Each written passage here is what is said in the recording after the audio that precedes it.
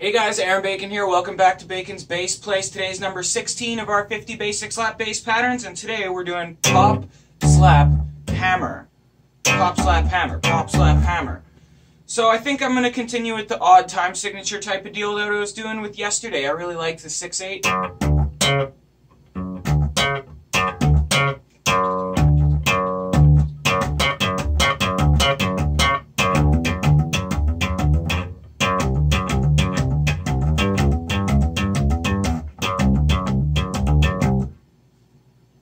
So yeah, I'm just going to be goofing around a little bit with that today. Um, not going to be trying too hard to stick to any structure, you know, I'm just going to be typically popping the higher string and slapping and hammering on on a lower string.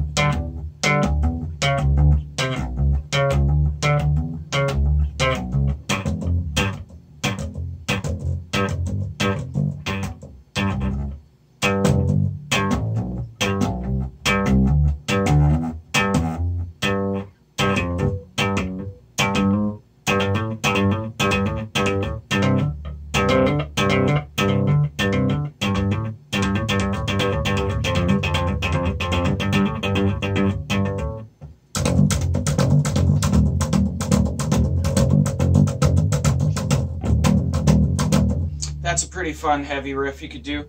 I'm all doing that on one note, so I'm popping, slapping the same note right there. It's a G. I guess I'm actually, yeah, I'm in drop D, so it's actually a F. And I'm pop, slap, hammer, all on one string, and then hammer on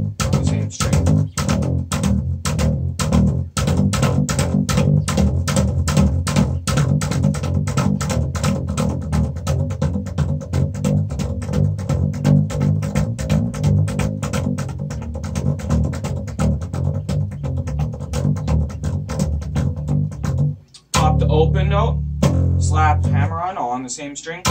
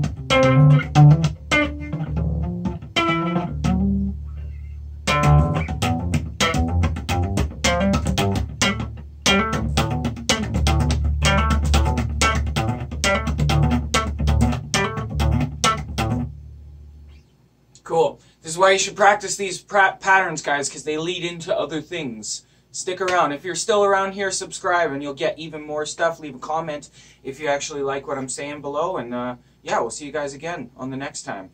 Bye-bye now.